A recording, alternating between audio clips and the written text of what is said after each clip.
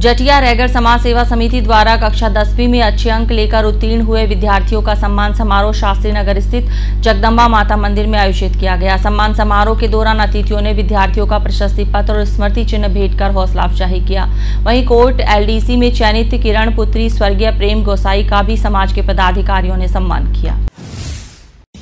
जटिया रेगर समाज सेवा समिति द्वारा कक्षा दसवीं में अच्छे अंक लेकर उत्तीर्ण हुए विद्यार्थियों का सम्मान समारोह शास्त्री नगर स्थित जगदम्बा माता मंदिर में आयोजित किया गया। जटिया समाज के मीडिया प्रभारी हितेश तंवर ने बताया कि जटिया समाज पहले की भांति अब शिक्षा में अग्रणी है। हर प्रकार की सरकारी भर्तियों में जटिया समाज के होनहार विद्यार्थी अच्छी रैंक हासिल कर सरकारी नौकरियों में अपना चयन करवा रहे हैं।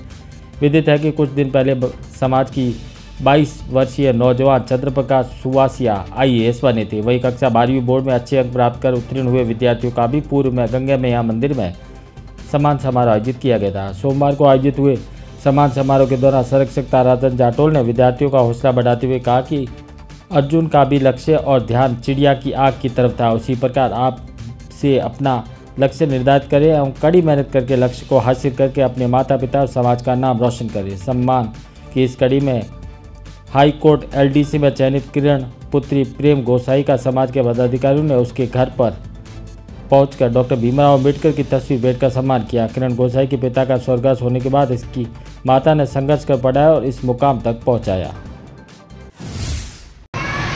जटिया समाज, सम्मानित कार्यकारिणी और संपूर्ण समाज की तरफ़ से सेकेंडरी बोर्ड के अंदर पिचहत्तर परसेंट व उससे अधिक अंक लाने वाले प्रतिभावान छात्र छात्राओं का मान, सम्मान, बहुमान श्री जटिया समाज जगदम्बा माता मंदिर प्रांगण में संपूर्ण कार्यकारिणी और गणमान्य लोगों की मौजूदगी में रखा गया है और इस सिलसिले में हम इकट्ठे हुए हैं और उसके बाद में समाज के बहुत ही ज्वलंतशील जो मुद्दे हैं, उनके बारे में भी चर्चा की गई व उन चर्चाओं को 18 तारीख जो छः बीघा सभागारों का जो उद्घाटन है लोकार्पण कार्यक्रम है, उसके बाद में आगामी जो हेलापाड़ समाज की जो मीटिंग होगी, उन तमाम मुद्दों को उन मीटिंग के अंदर रखा गया इस दौरान समाज के पदाधिकारियों की बैठक भी आयोजित की गई। अध्यक्ष एडवोकेट प्रेम प्रकाश चौहान ने बताया कि बैठक में शिवनगर में जटिया समाज की छह बीघा ज़मीन पर विधायक कोष से निर्मित भवनों का 18 जून को लोकार्पण कर विचार विमर्श किया गया। साथ ही इस लोकार्पण को अधिक भव्य बनाने के लिए जटिया समाज ने छह बीघा ज़मीन पर क्रिकेट प्रतियोगिता करवाने का निर्णय लिया, जिसमें समाज के नौजवान क्रिकेट खेल सकेंगे। वहीं क्रिकेट प्रतियोगिता में अव्वल रहने वाली टीमों को, खिलाड़ियों को पुरस्कार वितरण भी किया जाएगा।